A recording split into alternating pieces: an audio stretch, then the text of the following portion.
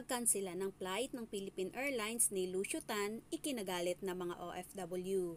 For more latest updates sa Chika Balita, tumutok lang sa channel ko. Narito tunghayan natin ang buong detalye.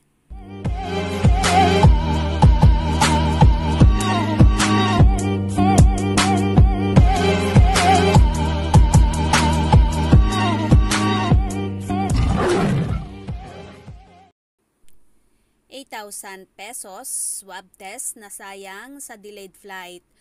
Philippine Airlines, Lusyutan, ginalit mga OFW.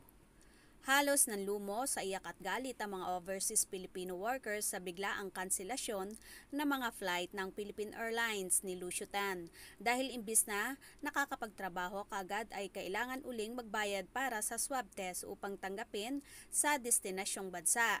So frustrating pal. Dapat hindi last minute ang cancellation ng flights, especially sa destinations na required ang swab test result. It's time, effort, money consuming to schedule swab testing that will give 24 hours result to comply na within 72 hours before departure only to be cancelled. Sabi ng netizen na si Joanna Melissa.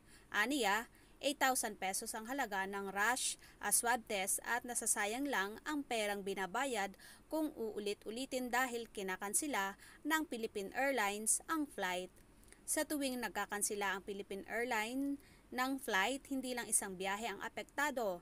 Nabatid na nagkansila ang Philippine Airlines ng flight nitong October 3 na Manila papuntang Riyadh. Nakansila rin ang flight na Riyadh pabalik ng Maynila. Nakabook sa flight na pabalik ng Manila naman ang kapatid ng netizen na si Toto Rock at tatlong beses nang nakakansila ang flight ng kapatid.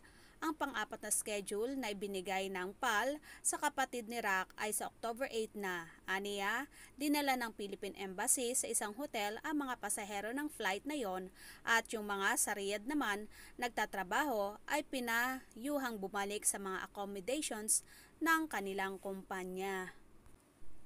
Sa nasabing pagkakansila ng Philippine Airlines na flight, maraming OFW ang galit na galit at umiiyak kasi hindi lang time, effort ang nauubo sa kanila pati na rin ang napakalaking pera na ibinabayad nila sa rush swab test. Biruin mo ang 8,000 pesos na napakalaking halaga. Mga kabarangay, anong masasabi nyo dito? Just comment down below para sa inyong salubin at mga reaksyon.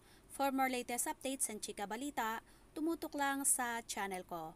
This is Lady Boss Tiger Showbiz News, naguulat. Bye-bye!